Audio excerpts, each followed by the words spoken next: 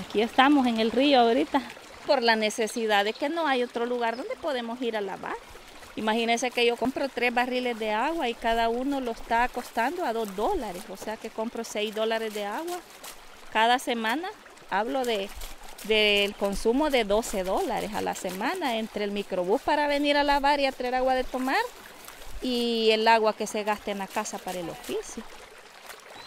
Ahí vamos a ir a, traer el agua de tomar. Ese virtiente es un agua bien sana porque depende de esas montañas y ahí no hay casa. Ahí es nada más colinas, como era cuando no habían las colonias alrededor. Por ejemplo, ahí en Miramar, donde yo trabajo, cuando no tengo agua de anda para regar el jardín, yo abro la cisterna y ahí hay agua todo el tiempo. Cuando estoy regando, que está cayendo la manguera bien fuerte, ay, qué barbaridad, digo, y esta agua la utilizara yo en mi casa.